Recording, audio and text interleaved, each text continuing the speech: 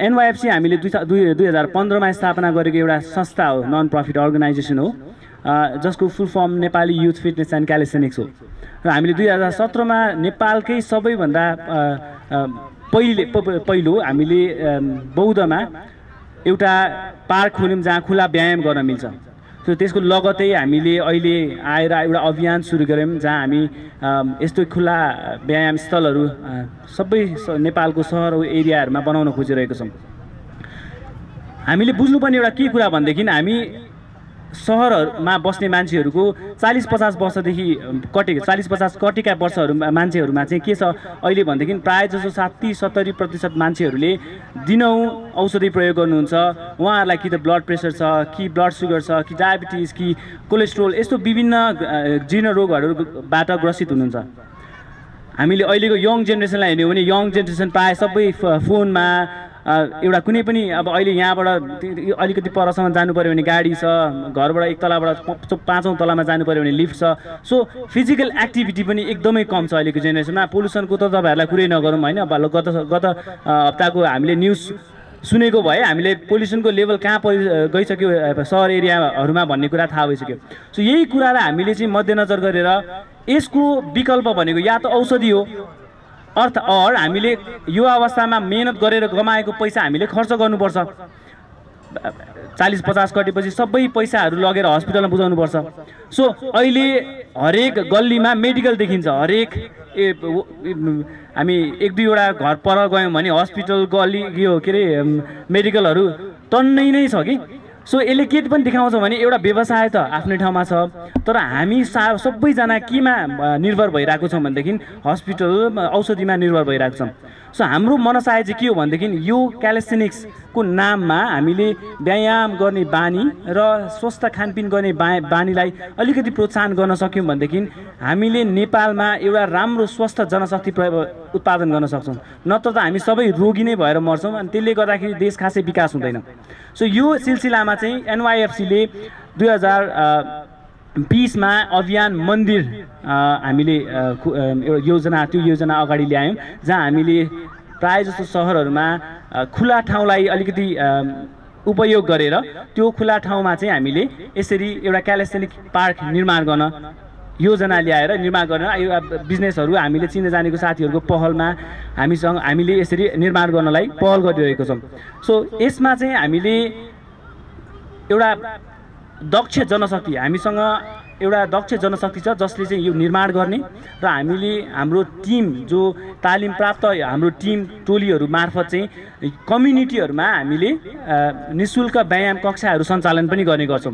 So विगत दुई वर्षदेखि हामीले न- नेपालको विभिन्न ठाउँहरूमा जस्तै पशुपतिमा बौद्धमा हाम्रो जगडोल गोकर्णमा टोखामा अहिले हुँदैछ पोखराको दुई ठाउँमा हुँदैछ नेपालगञ्जमा अब चितवनमा छिटै इस्टाब्लिस हुँदैछ बिर्तामोड झापादेखि लिएर अन्य ठाउँहरूमा हामीले चाहिँ निशुल्क व्यायाम कक्षाहरू सञ्चालन गर्न खोज्दैछौँ जसको कारणले चाहिँ त्यहाँ लोकल कम्युनिटीहरूलाई चाहिँ व्यायाम गर्ने एउटा बानी बसोस्। त त्यसले गर्दाखेरि हामीले पछि गएर वृद्ध अवस्थामा औषधि र हस्पिटलमा खर्च गर्न नपरोस् त्यो पैसा चाहिँ।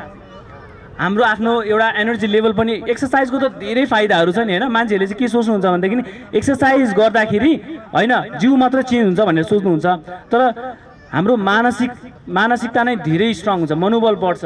हामीले सोच्न नसकेको धेरै कुराहरूमा एउटा सकारात्मक परिवर्तन हुन्छ। हाम्रो जीवनशैली धेरै राम्रो बन्छ। सो यो कुरा चाहिँ हामीले एक्सर्साइज गरिसकेपछि मात्र अनुभव गर्छौँ। सो यो कुरालाई चाहिँ हामीले अगाडि बढाउनलाई हामीले अहिले अभियान मन्दिर मार्फत मान्छेहरूलाई एजुकेट गर्न खोजिरहेको छौँ।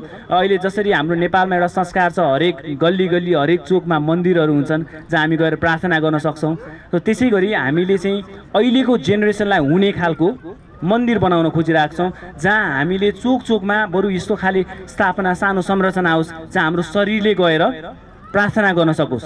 सो त्यसकै लागि हामीले अभियान मन्दिर भनेर यो मन्दिर यो यो यो मन्दिर अभियान हामीले इनिसिएट गरेको छौँ।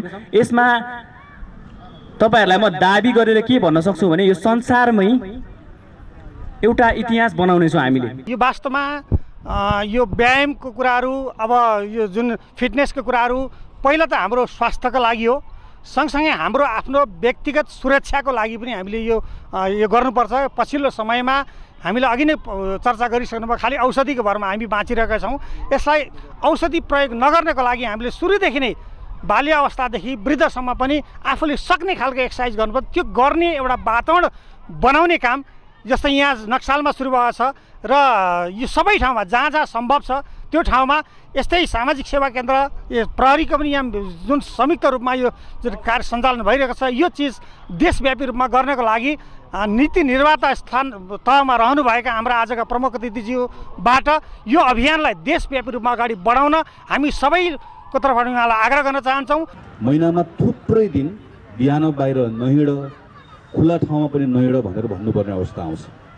हामीले सहरको विकास भनिसकेपछि कन्स्ट्रक्सन ठुलो बाटो। हामीलाई ठुल्ठुलो घर हामीले केही वर्ष यसरी बुझ्यौँ। जसले गर्दाखेरि हामीले सहर बनाएनौँ भएको कुरा पनि बिगाऱ्यौँ सहरको सेन्टरमा हुने भनेको त मान्छे हो। सहर भनिसकेपछि जुन सहरमा पार्क छैन त्यो सहरै हो। जुन सहरमा मान्छे आनन्दले हिँड्न सक्दैन त्यो सहरै होइन। त्यसैले यो आज जुन एउटा कम्बिनेसन यहाँ भएको छ हाम्रो यत्रो ओपन स्टेसन पार्कमा क्यालिस्थेनिक्स यो गर्न मिल्ने गरिने पार्क आएको छ। यसले यो मैले मैले यसलाई चाहिँ अघि वडा नम्बर एघारको अध्यक्ष हुनुहुन्थ्यो। हाम्रो नरेन्द्र दाईले भन्नुभयो ल तपाईँको वडामा पनि गर्नुहोस्। पूर्व चिफ साहब आउनुभएको थियो उहाँले पनि भन्नुभयो ल अरू ठाउँ पनि खोजौँ। यो एउटा अब यो ज्वरो सरेको जस्तो। जहाँ खुला ठाउँ छ खुला ठाउँलाई संरक्षण गरौँ। जहाँ खुला ठाउँ छ खुला ठाउँमा यसरी हाम्रो ल हेर्नुहोस्। अहिले भर्खर आएको ठाउँमा यत्रो धेरै केटाकेटीहरू यसले मोटिभेट गरेर यहाँ ल्याइसक्यो। यस्तो ठाउँमा क्यालेस्थेनिक्सलाई जोड्दै जाउँ भन्ने कुरा एउटा एउटा एक प्रकार एउटा मुभमेन्ट जस्तो यसलाई चलाउन सक्ने कुराको एउटा ठुलो आधार आजको कार्यक्रमले दिएको छ। र यो मुभमेन्ट यसलाई अगाडि बढाउने कुराको सन्दर्भमा म यहाँको जनप्रतिनिधि हुँ। यो ठाउँको यहाँको एमपीको हिसाबले मात्र होइन मेरो ठाउँमा म आफू भएको ठाउँ मैले त अरू वडालाई पनि भनिरहेको छु खोजौँ अरू नयाँ नयाँ ठाउँहरू हामी खोजी पनि रहेका छौँ त्यहाँ त गर्छौँ नै। त्योभन्दा बाहेक पनि काठमाडौँभित्र काठमाडौँ बाहिर तपाईँहरू बुटवल जानुभएको छ चितवन जानुभएको छ पोखरा जानुभएको छ थापासम्म जहाँ जहाँ तपाईँहरू पुग्न खोज्नु भएको छ त्यहाँको स्थानीय साथीहरूलाई हामीले भनिरहेका छौँ। तपाईँहरूलाई स्वागत गर्नुहोस् उहाँहरूलाई ठाउँ दिनुहोस् उहाँहरूलाई मद्दत गर्नुहोस्। यो एउटा मुभमेन्ट चलाउनुपर्छ भनिरहेका छौँ र भोलिको दिनमा पनि नेपालभरि जहाँ जहाँ तपाईँहरू जान खोज्नुहुन्छ हामीले सकेको ठाउँमा तपाईँहरूसँग उभिने कुराको बडो खुसीका साथ तपाईँहरूसँग उभिन्छौँ हामीहरू। र यसलाई मुभमेन्टको रूपमा अगाडि बढाउनका निम्ति म तपाईँहरूलाई फर्दर शुभकामना पनि दिन चाहन्छु। फेरि एकपटक हाम्रो नक्सालमा तपाईँहरू आइदिनु भयो यति धेरै म तपाईँहरूलाई।